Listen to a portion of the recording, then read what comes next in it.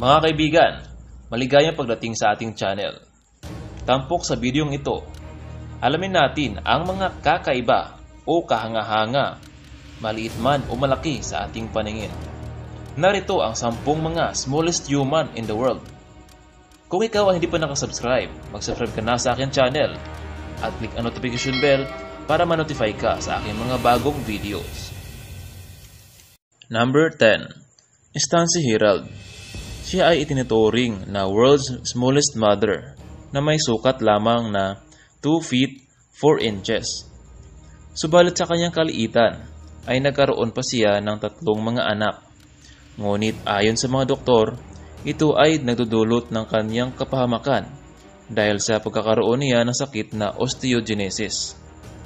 Siya ay pumanaw noong September 11, 2018. Number 9.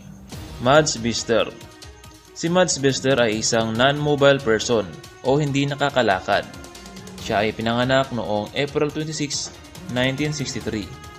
Siya ay sumukat lamang ng 2 feet 1.5 inches o 65 cm.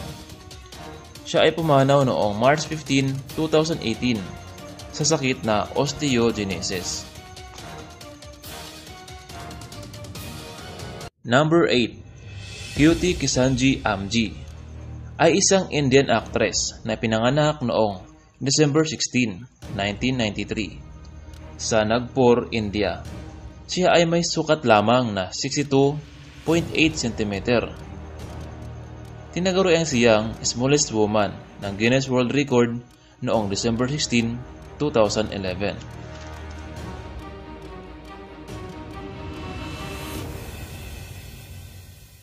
Number 7. Pauline Moster Si Pauline Moster ay isang Dutch woman na pinanganak noong February 26, 1876. Siya ay tinaguriang the Guinness World Record bilang shortest woman na may sukat lamang na 58 cm. Siya ay pumanaw sa edad na 19 noong March 1, 1895 sa sakit na pneumonia at meningitis. Number 6. Hi Pingping Si Hi Pingping ay tinagurian the world's shortest man at ipinanganak noong July 4, 1988 sa bansang Mongolia. Siya ay may sukat lamang na 74 cm at siya ay pumanaw noong March 13, 2010 sa edad na 21 dahil sa sakit na heart failure. Number 5. Gul Muhammad Si Gul Muhammad ay pinanganak noong February 15, 1957 sa bansang New Delhi, India. Siya ay tinaguriang the shortest verified adult human sa kanyang panahon na may sukat lamang na 57 cm at pumanaw noong October 1, 1997 sa edad na 40 years old sa sakit na asthma at bronchitis. Number 4. Junri Balawing Si Junri Balawing ay isang Pilipino na ipinanganak noong June 12, 1993 sa bayan ng Sindangan, Zamboanga del Norte. Siya ang shortest recognized living person noong September 3, 2015. Siya ay may sukat lamang na 59.93 cm at siya ay tinatawag na non-mobile man o hindi nakakalakad. Number 3.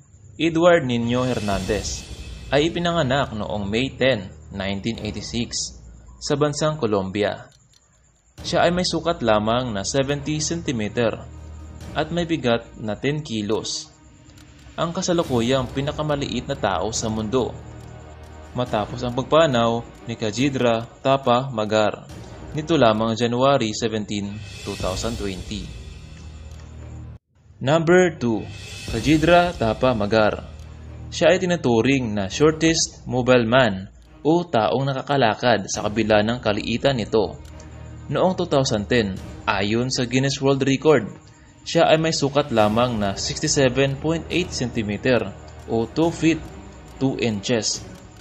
Siya ay matatagpuan sa bansang Nepal at ipinanganak noong October 4, 1992. Ngunit sa kasamaang palad, Siya ay pumanaw nito lamang January 17, 2020 sa edad na 27 years old sa kadahilan ng pagkakaroon ng sakit na pneumonia. Number 1. Chandra Bahadur Danji Siya ay pinanganak noong November 30, 1936 sa Salya, Nepal. Siya ay may sukat lamang na 54.6 cm. Siya ay tinaguriang world's shortest adult human at siya ay pumanaw noong September 3, 2015 sa Pagopago, Amerika, Samoa sa edad na 75 years old. Ayon sa ulat, siya rin ay pumanaw dahil sa sakit na pneumonia.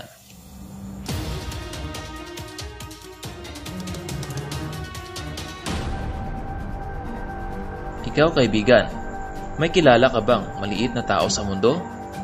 Comment down below para sa ating impormasyon. Maraming salamat.